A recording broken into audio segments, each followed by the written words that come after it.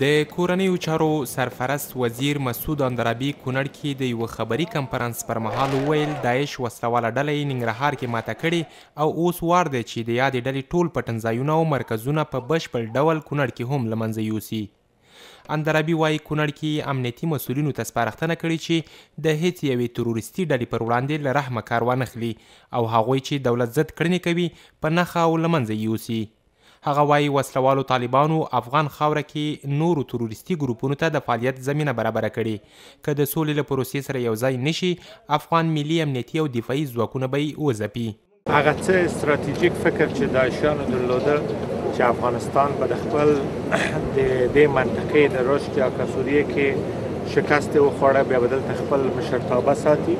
هغه او هغه لپاره ننګرهار او هغه صاحب العبور راځي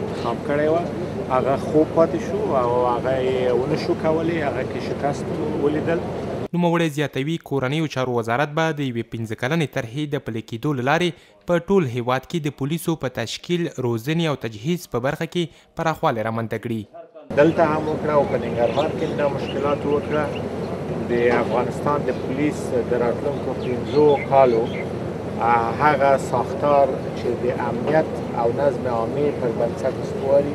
بحثونه روان دي په دې کې موږ د پولیس تعداد اضافه کوو بلخص په خارو کې د کورنیو چارو سرفرست وزیر کونړ ته د سفر پر مهال د دغه ولایت امنیتي مسولینو سربیره د عامو خلکو سره هم ناستې ترسره کړې او د امنیت د ټینګښت په موخه یې د خلکو غوښتنې او مشورې له نږدې واورېدې قذافي مل انعکاس راډیو ټلویزیون کونړ